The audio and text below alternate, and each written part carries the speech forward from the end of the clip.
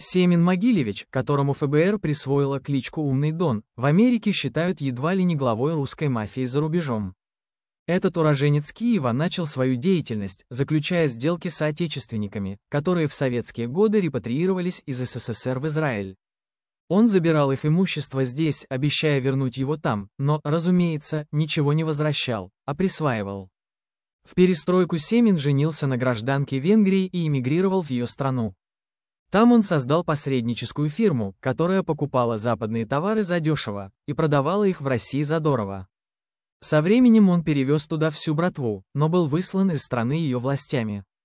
Семин вел дела и с Солнцевскими, и с Неаполитанской коморой, но в конце концов переехал в Москву, где управляет всем через подставных лиц.